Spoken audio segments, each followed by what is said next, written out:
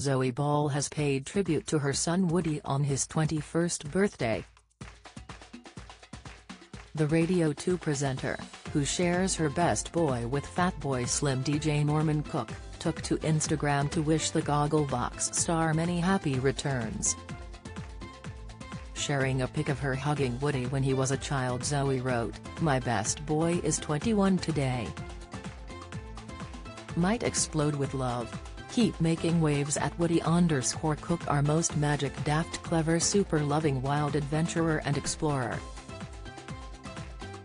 Stay golden rave monkey. Luckiest mama lady 30. Zoe then posted several snaps of the birthday boy as he was growing up including one of him adorably poking his head out of tent.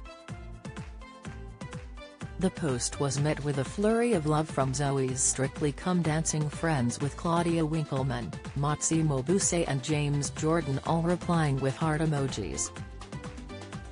Budding DJ Woody starred on Celebrity Gogglebox with his famous mum and has also hinted he would love to star on Strictly Come Dancing one day. According to The Sun on Sunday, Woody revealed his desire to star on the BBC One show during an online Q&A with fans via Instagram.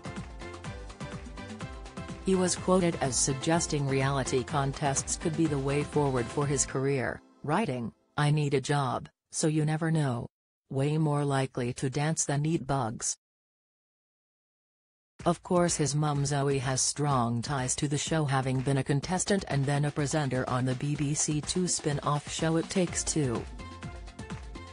Woody recently attended the Attitude magazine's 101 Awards with his girlfriend, Nell Williams, who is a psychology student. Speaking to the Mirror about their blossoming relationship he said, Nell is my girlfriend, We've been together for about 9 months and are really happy together. We met through mutual mates and had known each other a while before dating.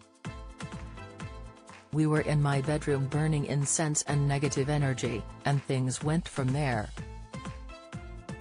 Woody's parents Zoe and Norman started dating in 1998 when the daughter of maths was Johnny Ball was sent out to Ibiza with fellow DJ Sara Cox.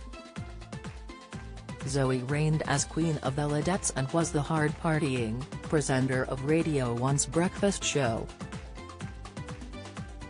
She and Norman married in 1999 and went on to have Woody and daughter Nellie, who was born in 2010. The couple split in 2016, but lived just two doors away from each other in Brighton for years. Zoe now lives in a stunning £1. 5 million home in East Sussex. The presenter shares the palatial pad with Woody, Nellie and her partner Michael Reed.